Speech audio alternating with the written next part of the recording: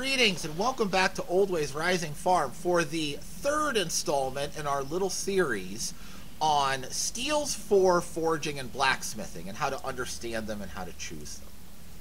Very briefly, the first in the series was a chalkboard talk where I went over all of the little details that you need to understand. A very, very simplified, very oversimplified explanation of some of the metallurgy behind the different steels and the names and alloy numbers and all of that sort of stuff. I do recommend, if you're really serious about getting into this craft, that you do watch that one first. The link will be in the description below so you can find it easy. The second was a list of recycled steels that I quite enjoy using in my own work. Again, I'll put a link in the description box below to that. This one is sort of the negative half of that coin. Recycled metals that I don't like. I'm phrasing that the way I am for a reason. When you start going to any kind of the blacksmith forums or some of the uh, social media pages and whatnot around beginner blacksmithing, there's a lot of arguments about all of the recycled metals. And those arguments tend to descend into a place of two people arguing over whether something should or should not be used. I'm of the opinion that that is a foolish way to frame the conversation. All metal is good metal for something. If that were not true, it would never have been manufactured in the first place. But all metal is bad metal when misapplied. So the argument isn't what you should or should not use. What we really need to do is to dig in a little bit deeper, understand what these materials are, what they do, and when we're talking about recycling, understand how their use history impacts what they are today. Because used material is not the same as the day it was made. And then you can take that information you can combine it with knowledge over the problems that you face and the opportunities that you have and what you want to make and make well informed decisions about your own work to set yourself up for success. That's the goal. so, in describing metals that I don't prefer, I'm going to talk about what they are, what they're made of, how their use history has impacted them where that's relevant, and why I don't prefer them. That's to give you information, to give you background knowledge, so that you, when you're looking at things, can sort the information better and recognize what's in front of you when you're holding a piece of metal a little bit better so that you can make better informed decisions. So, hopefully that interests you, and we'll go dig in and look at some metal examples.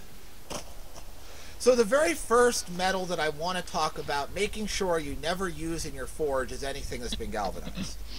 The reason is because when the zinc used in the galvanization process gets hot, it outgasses. Those gases, when breathed in, cause a profound inflammatory response in your body called metal fume fever. I have had it. It is terrifying and it is not fun at all. And when I got metal fume fever, I got it on an open forge, just out in the open, just like I am today. But I wasn't wearing a respirator. Even if you have a respirator and wear it, which is a good idea whenever you're using recycled steel, um, still don't put anything galvanized in your forge because some of those zinc vapors will recondense on your forge and then outgas again next time you use it when you might not be expecting trouble. But trouble could still come. So I want to give you the strongest possible warning to avoid galvanized metal. Now this gate behind me is galvanized. You can see it here in the gray color. But if you look here, over on this upright, it's starting to rust through the galvanized coating. And you can no longer tell just by looking at the spot that it was once galvanized. The piece that gave me metal fume fever is this piece right here. I talked about this in the preceding video, so I'm not going to belabor it in this one. Go check the link in the description for the full story.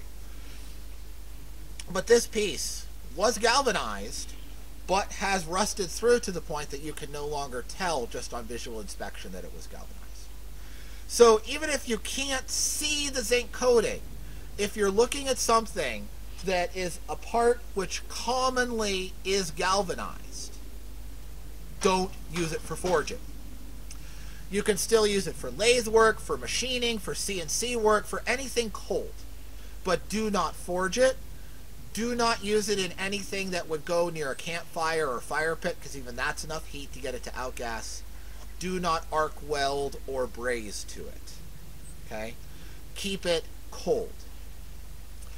The other option, you know, if you if this was some sort of post-apocalyptic setting and I only had this bar of metal and I had to make a tent stake, file off the entire surface. But that's a pain in the butt. It's possible, but it's a pain in the butt. And I've got enough other stuff. I just got rid of this whole stack of metal after the first piece gave made me sick. It's just better that way, safer that way. So again, I wanted to lead out this video with this very strong warning. Be next level cautious about galvanized material. And you also have to throw in there some of the metallic anti-fouling paints that are put on some industri- in, on in some industrial settings. A lot of those have metals or metal oxides in them that can also give you metal fume fever. So anti-fouling paints just as bad as galvanized. Okay, let's look at some other stuff. The next metal that's often talked about that I don't prefer in my own work are these small home shop sized saw blades. So we have the circular version like this chop saw, um, and we have small bandsaw blades from like portable sawmills and resaws and things like that. Now, the two reasons I don't prefer these are the material they're made out of and the size. So if we look at, we'll start with the circular saw blade, and we talk about size. There's really not that much to work with in here, okay, compared to a big industrial saw blade anyway. Also, the gullets in the bottom of each tooth pattern, those often have stress fractures in them, so you need to cut in farther than you think you do to get away from that. And this one's not too bad, but you see these stress relief cuts down in it. These can get really exaggerated and really deep into the blade before, uh, in some models. So before you even start working with it, you're cutting around Swiss cheese. And that's not something I enjoy doing. I want to start with a good solid chunk of material. Second, the, the material it's made out of. 80s and earlier, most of these circular saw blades are 1080, 1095, something like that, one of the 10 series. And in modern time, if you don't have a welded on carbide tooth, they're still probably 1080, 1095. But as we've gotten better and better at making these, we've gotten cheaper and cheaper at making the rest of it. So as time has moved forward, the quality of material going into these circular saw blades has declined. So it's a lot of work cutting around Swiss cheese for what's probably mediocre material. If this were a post-apocalyptic world and that's all I got, would I make something out of it? Oh my gosh, yes, I would. But when I have a big pantry of stuff that I enjoy working with it, that's not worth adding to the pantry, right? What could you use it for? Well, if you have one that lacks carbide teeth or you know is older, and you want to use it for something, what I would recommend would be a stock removal project. So cut it out to final shape, make a small, you know, small paring knife for the kitchen, small carving knife for woodworking, small skinning blade for field dressing a deer, um, you know, something where the blade's going to be your index finger or shorter, you can just do a direct stock removal project out of something like this. You would want to anneal the blade, cut out your part, and then reheat treat it. Um, that'll work for you. And you'll probably have a pretty decent result. You would definitely want to put the bottom of those gullets in the handle, not in the blade because if this is all the way out in, in the end of your handle, it's not really going to hurt anything if there is a little stress fracture there that you miss. But I have much nicer material and I don't want to mess with all of that nonsense. So I'm just going to throw those away when they wear out. okay, just not worth it. Um, the other one is this, the, uh, the bandsaw blade. These small bandsaw blades, if you're looking at this and thinking, hey, that's a lot bigger than my bandsaw blade, why are you calling it small? Well, because it's not a big industrial blade. If you want to see what a big industrial blade looks like, I show you one in the previous video. Description, link in the description box. I'll plug my own video. That's a big bandsaw blade. This is not a big bandsaw blade. These smaller inch to two inch wide bandsaw blades are 10 series, pretty most of the time. There are some fancy ones you can get, but they're really expensive most small sawmill operators are trying to cut cost as much as possible, and they're using the cheap 1095 ones. It's too thin to weld well in a pattern welded project. And it's way too thin to directly reuse as a stock removal project, with one exception. And that's the reason I have this actually.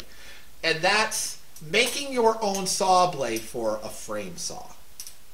So this is a project that I want to work on at some point here in the near future.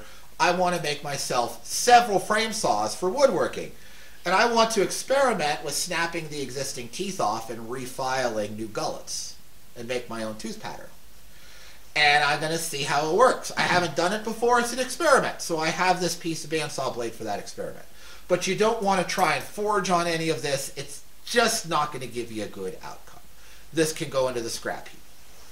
So, um, again, this stuff gets talked about a lot. If you have it and it's all you have and it's your first project, go play with it, have fun.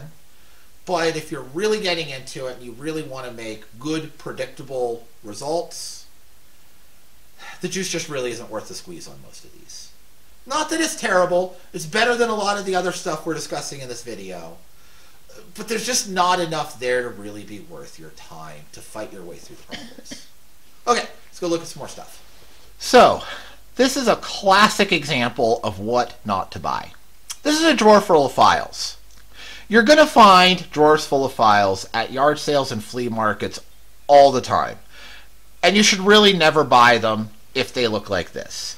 This is not how you store files. Every time these teeth bump against each other, they're taking their edge off, and you're going to cut the life of the file in half or three quarters. You can actually ruin a file by shipping if you two files are shipped face to face in the mail, they can be completely ruined by the time they arrive to you in one round of shipping. Okay, this is terrible.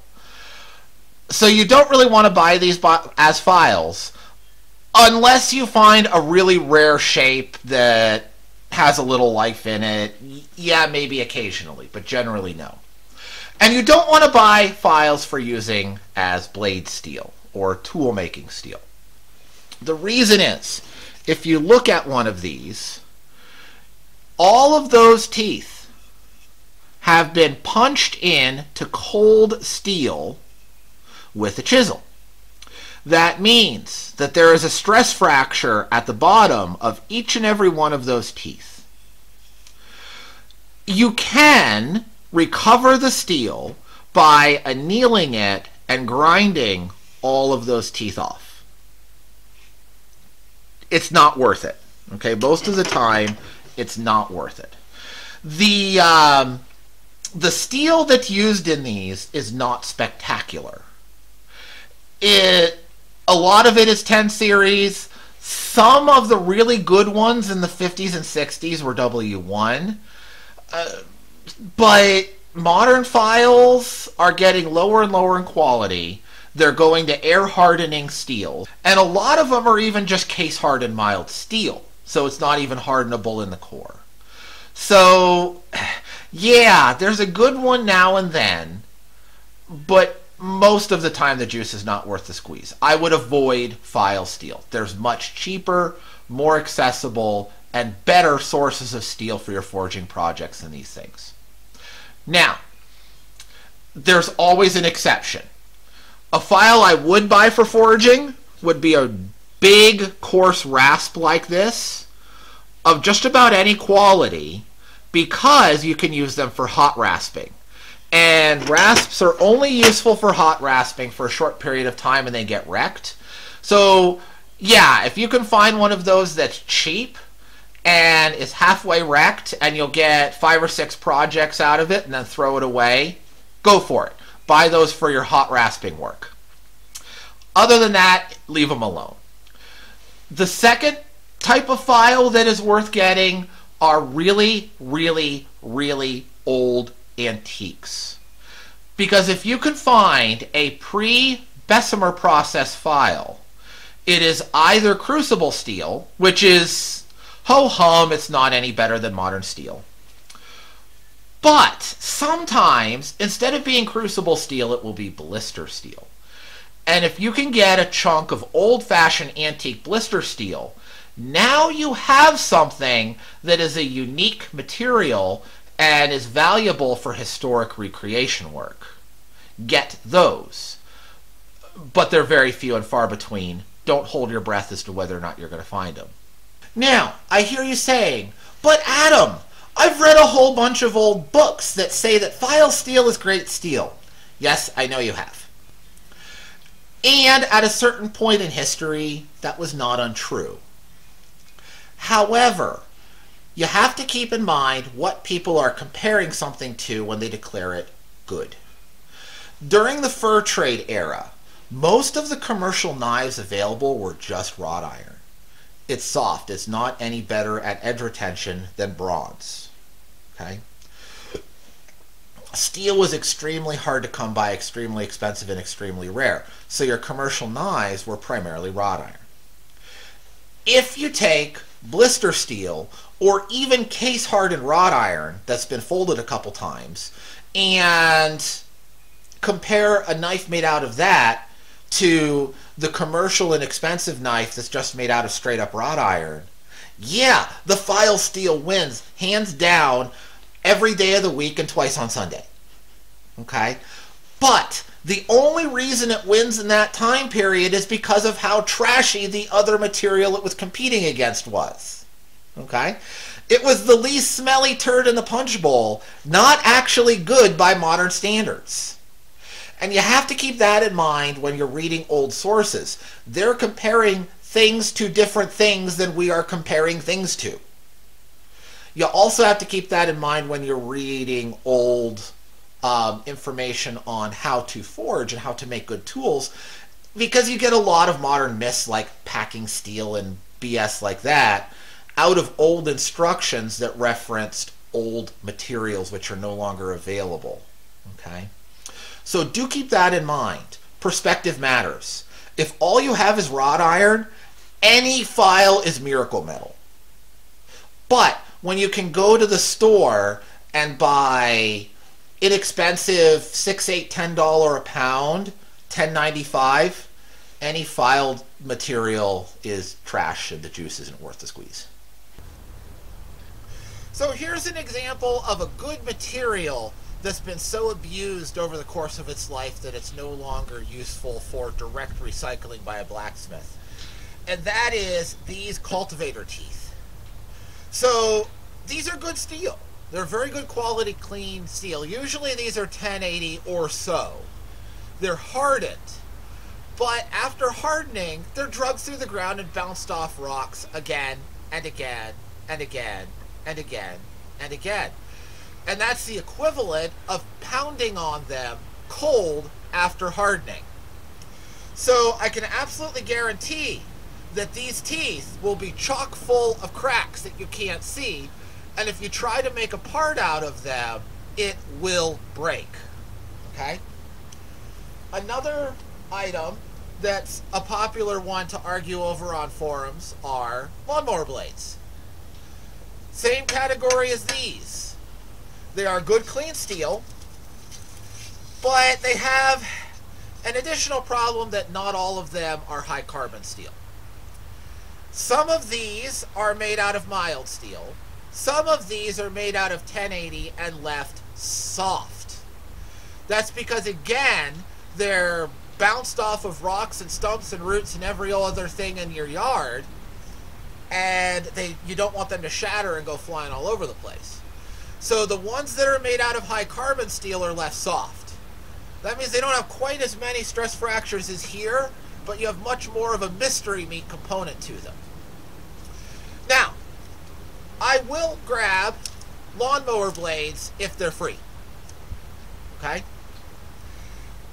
Why when I just told you they're full of cracks? And the answer is because not everything needs to be hardened. So if you want to make something like a garden cultivator or a little small hoe, a little garden trowel, something like that, this is a reasonable material to use as long as you're going to forge it and then leave it be. Leave it soft. Forge it, normalize it, you're done. It's fair game for that. Do not try to make any kind of hardened edge tool out of either of these materials. You're only asking for frustration and upsetting times when they break. If you're enjoying this video, I would be most grateful and honored if you'd give it a thumbs up so that the YouTube algorithm knows that you're enjoying it and can show it to others. Thank you so much for doing so. There's two more metals that I want to talk about as metals that I don't prefer using. And I specifically want to talk about these because so many people want to use them. Um, I just want to describe what they are and why I don't enjoy them so that you know going into something what you're getting yourself into. First of them is rebar. This is one of the most common and readily available recycled materials in existence, which is why everybody wants to do something with it. The problem with it, the reason I despise the stuff and most experienced smiths join me in despising the stuff, is that it's so gosh darn inconsistent. When they make this stuff, they're making it out of the sludge, garbage, and dust at the bottom of a pile of recycled material. Okay? Everything good that can be stripped out and recycled for a specific purpose is done so. And then all of the trash left at the bottom of the magnetically active pile goes into the rebar pot. All the material has to do at the end of the day is meet a minimum tensile strength requirement, and it's done. It's not well melted, it's not well mixed, it's not well handled, it's not tested for composition. It's melted, rolled, spat out of a machine, and sold to be mixed with concrete. Okay? So when you get a piece of this, even within the same bar, one section might be beautiful, buttery, mild steel because that's what went into the melt in that section. The next section might be really hard to forge because it's high carbon material. The next section might have had so much cast iron mixed in that it's brittle and cracks when you try to work it. And then back to buttery smooth. Right? And anything in between can be true of it. Now, are there tools made out of re rebar? Yes. I have in my little collection of antique stuff some antique rebar that was made into a chisel. Right? I would not choose to use it as a chisel, but somebody did. And if you're comparing rebar to wrought iron, yeah, rebar will make a better chisel than wrought iron, but that doesn't mean it's good by modern standards. Also, you may have just gotten lucky, right? There are people out there who say, I have made a rebar knife and I love it. Okay. If you love it, I'm not going to tell you to throw it out. What I will say is that you got lucky. And that person made a good rebar tool by sheer dumb luck of having picked the right section and the right piece of rebar. You can't plan to make a woodworking tool, pick up rebar as your material, and execute the process with consistent quality results. You just can't do it. Okay? The only way to make rebar consistently high quality is to throw it back in the furnace, bubble enough air in it that you burn out every impurity, burn it all the way back to pure iron, and then remix it with known composition. And that's not something you can do as a smith. So it's miserable to work because of how inconsistent it is. Now, as with many other things I've talked about here, I will give you one thing that I like to do with rebar And if it's if it's free or darn close to it, I will pick it up and take it home. And that is tent stakes. I do like to make rebar tent stakes. I even have a video on this channel making a rebar tent stake. And the reason I like rebar for tent stakes is the texture that it has. These ribs really grab the soil well, especially in a loose or sandy soil. So I like it for that. And a tent stake doesn't have to be good metal. You can use any old trash for a tent stake as long as it has enough tensile strength to not bend when you're ripping it out of the ground at the end of your camping expedition. So that goes back to its original designed use. Random trash metal with a minimum tensile strength. Okay, so that's rebar. If you want to make tent stakes, great. A lot of smiths will use this for like welding onto other things to make a handle. Great. But in terms of dependably and predictably using this for toolsmithing, no, get something else. Okay? So that's rebar and why I dislike it and its exception. The last one I don't even have an example of, and that's railroad spikes. I dislike railroad spikes so profoundly, I do not have one anywhere in my stash of stuff to even hold up and show you. Okay? Um, Railroad spikes, I'm talking about modern railroad spikes here. Really ancient railroad spikes are a different story. They're wrought iron. We're going to do a video somewhere along the line entirely on wrought iron, and we'll talk about that stuff then. But modern era railroad spikes are basically rebar in a railroad spike. Okay? It's something mild to low carbon steel. It's not dependably consistent. It's not good material that's intended for anything other than being hammered into the ground. Right?